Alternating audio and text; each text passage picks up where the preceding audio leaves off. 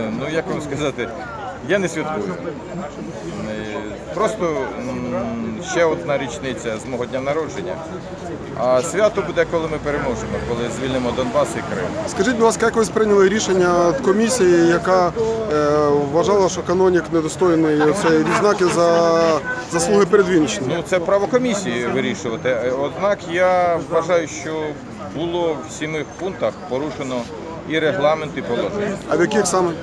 Ну, по-перше, е, обласна адміністрація подала 5 кандидатур, а дозволяється тільки одну. Це вже в 5 разів 500% порушень. Друге питання. Е, Я не знаю, з чиєї подачі відсутні були характеристики. Їх вже подавали згідно вимог.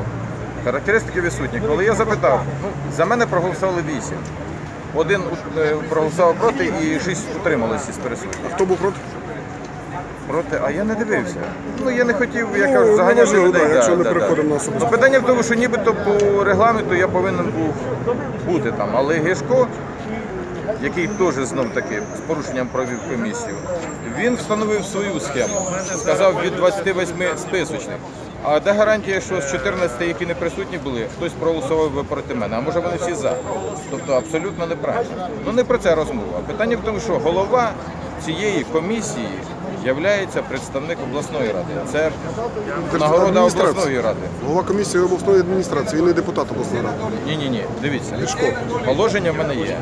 Голова комісії. В положенні записано. Заступник голови обласної ради. А заступник голови адміністрації може бути співголовою за погодженням. Так, записано в положенні. Передаю вам дослівно. Голови чи представника від обласної не було. Це перше, всі голосували. Андрій Петрович підняв руку, підняли, опустив, опустили. Я запитав у деяких депутатів, скажіть, чи членів комісії, скажіть, будь ласка, ну от чому ви голосували так чи інше? Вони кажуть, а ми ж нікого не знаємо. Нам характеристики не дали, заслуги не дали і таке інше. Наступне порушення. Е, Всі військові, які презентуються на нагородження, вони повинні подаватися чи за клопотанням своїх командирів. Хто знає крім командирів, як вони служать, що вони заслужили і таке інше.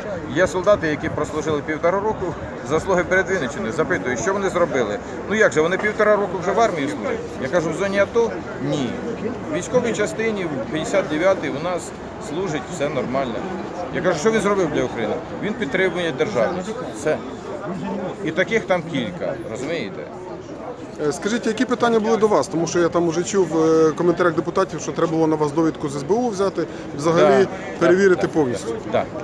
Я доповідаю. Я вже вам казав про це. Я проходив перевірку СБУ. Мене запрошували на Тарасівську, це Київ, головне управління військової контрозвідки. Питань до мене не було. Вони наоборот запитували мені, хто такий Захарченко, де я з ним зустрічався, скільки разів бачились, які роботи виконані, що я зробив для України. Потім на Володимирській, потім насилили ще запитання в обласне управління служби безпеки. Ви також можете перевірити. Запитання були не до мене, а від мене просили інформацію за ту чи іншу особу, яка співпрацює з Російською Федерацією. От і все. Дякую.